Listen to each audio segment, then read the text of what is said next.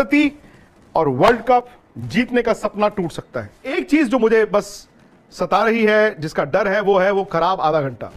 क्योंकि वो खराब आधा घंटा 2013 से लेकर अब तक भारत के पीछे पड़ा हुआ है। जैसे जैसे मैच करीब आता है ना इतने घंटे रह गए। और मेरे को तो नींद नहीं आई थी आप डर नहीं है क्या कल के मैच को सर मैं ऑनेस्टली बताऊँ मेरे लिए ऑस्ट्रेलिया और साउथ अफ्रीका तो शायद मुझे इतना टेंशन नहीं होता बट ये मुझे थोड़ा लगता है। तो मतलब ये मेरे लिए तो बड़ा है कि मैं नींद आएगी रात में नहीं आएगी मैं सोच रहा हूँ। बट अगर कोई एक टीम है जिसको खेलते हुए इंडिया थोड़ी सी नर्वस होगी वो टीम न्यूजीलैंड होगी। यार पता नहीं आप लोग मैं देख रहा हूँ इतने घबरा क्यों रखे हैं सबके सब आपकी मैंने हालत आप लोग क्यों डर रहे हो? मुझे नहीं मुझे मैं कसम से बोलूँ। वालेकुम फ्रेंड्स मिस्टर क्रिएटिव पर खुश आमदीद। दोस्तों इस चैनल पर आपको वर्ल्ड कप 2023 के बारे में क्रिकेट एक्सपर्ट की ओपिनियन देखने को मिलेंगी। तो चलते हैं सुनते हैं। सारे मैच खेलने के बाद अब वहाँ पहुँच गए जहाँ पर एक गलती और वर्ल्ड कप जीतने का सपना टूट सकता है। और मैं बात सिर्फ़ इंडिया की नहीं, मैं न्यूजीलैंड की भी कर रहा हूँ। इंडिया वर्सेस न्यूजीलैंड 2019 का रिपीट है। हम सब कहेंगे बदला लेने का वक्त है, लेकिन बदला लेने का वक्त नहीं है। ये तो वर्ल्ड कप जीतने का वक्त है। उस दिन जो हुआ, वो हुआ। वो कंडीशंस भी डिफरेंट थी। ये इंडिया में मैच हो रहा है। लेकिन एक चीज़ जो मुझे बस सता रही है, जिसका डर है, वो है वो खराब आधा घंटा। क्योंकि वो खराब आधा घंटा 2013 से लेकर अब तक भारत के पीछे पड़ा हुआ है। वो खराब आधा घंटा खास तौर से जब आप बैटिंग करते हैं क्योंकि बॉलिंग में खराब आधा घंटा ना आपको फिर भी वक्त देता है वापस आने का। लेकिन अगर बैटिंग में आपका खराब आधा घंटा जाता है तो समहाओ दरवाजे बंद हो जाते हैं। तो न्यूजीलैंड तो फिर तो मतलब प्रेशर होता है। मतलब ये अच्छी बात है कि रोहित कह रहे हैं कि हम ज़्यादा उस चीज़ पे तवज्जो नहीं दे रहे फोकस नहीं दे रहे। बट जैसे जैसे मैच करीब आता है ना आप तवज्जो देने लग जाते हो। उसमें कोई दो राय नहीं आप बच नहीं सकते उस चीज़ से। क्योंकि आपको पता है कि मैच अभी इतने घंटे रह गए। और मेरे को तो नींद नहीं आई थी यार। सेमीफाइनल से पहले पाकिस्तान के साथ मैच तब मुझे तो नींद नहीं आई थी। और जब जीत गए उसके अगले दिन भी नहीं नींद आई। तो सर उस हिसाब से उस मैच को देखते हुए इंडिया कल क्या स्ट्रैटेजी बनाएँगी? प्लान तो यही होगा कि रचिन को रोका जाए क्योंकि वो सबसे ज़बरदस्त बल्लेबाजी कर रहे हैं। अगर इस पूरे खेमे में मुझे लगता है कि वो रीढ़ की हड्डी बने। युवा हैं जिनके चलते उन्होंने बहुत अच्छा क्रिकेट भी खेला है न्यूजीलैंड ने। तो जो स्टार्ट होता है ना स्टार्ट उनको नहीं करने देना है। कॉनवे बड़े ज़बरदस्त खिलाड़ी हैं जो कभी भी फॉर्म में आ सकते हैं। पिछले मैच में अच्छे दिखे थे। तो मुझे लगता है कि कॉनवे और रचिन इनकी जोड़ी को तोड़ना पड़ेगा जल्दी और जो पीछे मैच में किया वो हो चुका है। अब कल क्या करना है, उसके ऊपर फोकस करना है। वो ज़रूरी है। सर, आप डर नहीं है क्या कल के मैच को सर मैं ऑनेस्टली बताऊँ मेरे लिए ना बहुत न्यू फीलिंग है क्योंकि नया नया शुरुआत हुई है और आज ऑफ़िस में आए ना तो एक वो नर्वसनेस नहीं होती बोर्ड से पहले कि आप नर्वस है। टूर्नामेंट बहुत अमेजिंग जा रहा है इंडियन टीम मतलब आप सारे बॉक्सेस टिक है लेकिन वो एक नर्वसनेस होती है तो वो होनी भी चाहिए। नर्वसनेस तो होनी ज़रूरी भी है। बिल्कुल। लेकिन घबराइए मत। जीतेगा तो? India he. बट ये जो टीम है ना पर्टिकुलर मुझे मतलब ऑस्ट्रेलिया और साउथ अफ्रीका तो शायद मुझे इतना टेंशन नहीं होता। बट ये मुझे थोड़ा लगता है तो मतलब ये मेरे लिए तो बड़ा है कि मैं नींद आएगी रात में नहीं आएगी मैं ये सोच रहा हूँ। दीपक?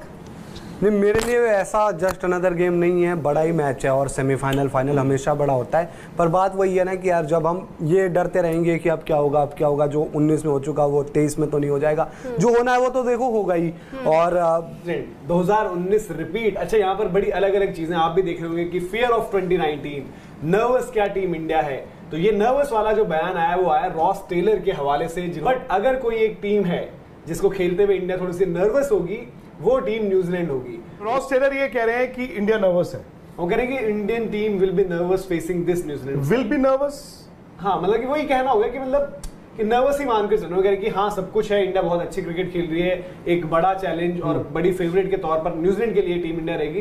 बट अगर कोई है जिसके खिलाफ वो नर्वस होंगे तो न्यूजीलैंड की टीम होगी। उनकी बात गलत भी नहीं है।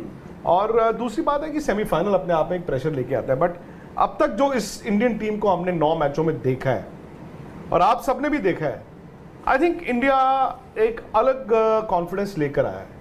और मेरा तो ये भी मानना है कि न्यूजीलैंड अगर ये कहता है कि we have nothing to lose वो भी गलत बोल रहे हैं। हाँ उन पर वो 140 करोड़ लोगों का आबादी का दबाव नहीं न्यूजीलैंड की पॉपुलेशन इतनी है जितनी स्पोर्ट्स तक की अ, का परिवार है। तो वो मैं मानता हूँ लेकिन कौन खिलाड़ी ऐसा होता है जो ये कहे कि we got nothing to lose खेल गए जीत गए तो जीत गए हार गए तो हार गए। तो अब ठीक है अपना इंडिया ने एक अच्छा प्रोसेस फॉलो किया है। मैं तो कुदरत को भी मानता हूँ कि इन द सेंस कि देयर इज़ अ डिज़ाइन तो क्यों नहीं? अगर आप इस बार देखो 19 में अगर ट्रक आया था तो हम वाहिद टीम ऐसी नहीं थी जो जीतने लायक थे। भाई हम इंग्लैंड से भी तो हारे ही थे ना। हाँ। अगर आप पंद्रह में सेमीफाइनल ऑस्ट्रेलिया से हारे थे तब भी हम हमारा और ऐसा नहीं था। हाँ, ग्यारह में हमारा और था हम जीत गए। बट 2003 में जो ऑस्ट्रेलिया और लेके आया था या सात में लेकर आया था वो जीत के गए थे। तो इंडिया का और है इस बार। इंडिया का आप देखें यार इंडिया मैच थोड़ी जीता है। इंडिया ने तो रख रख के मारा है। हैं रॉन्ग वो अच्छी टीमों से भी हारे वो हमारे से हारे वो ऑस्ट्रेलिया से हारे पाकिस्तान से हारे साउथ अफ्रीका से हारे। तो न्यूजीलैंड का भी अगर आप देखें न्यूजीलैंड उस तरह से परफॉर्म नहीं कर रहा था। उनके दो तीन प्लेयर बड़े अच्छे हैं। मिचेल सैंटना और रचिन रविंद्र ये दो हैं जो आउटस्टैंडिंग निकल के आए हैं। अब सवाल यह है कि इंडिया और न्यूजीलैंड भी किस सोच के साथ आते हैं?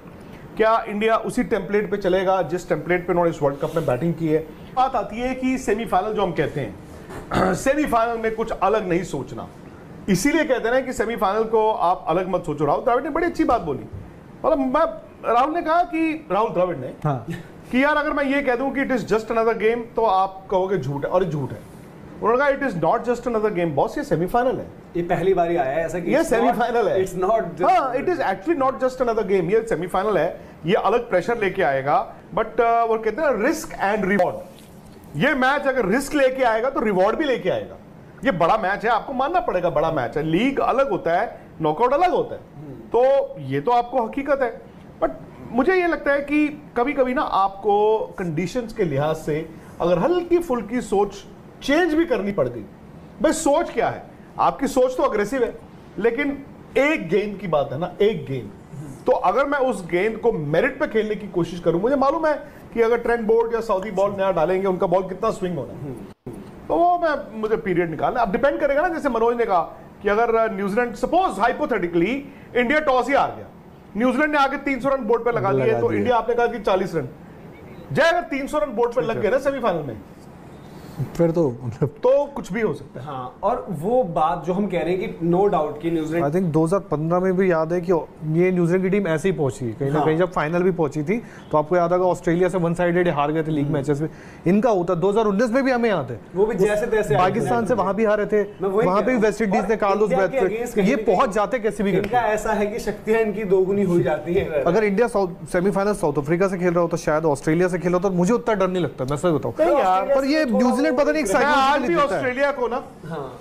द मोमेंट वो सेमीफाइनल में आ गए आज भी ऑस्ट्रेलिया को मैं बहुत बड़ा दावेदार तो उतना नहीं पर ऑस्ट्रेलिया का हूँ। मतलब आप लोग क्यों डर रहे हो? मुझे नहीं मुझे मैं कसम से बोलूँ पिछली बार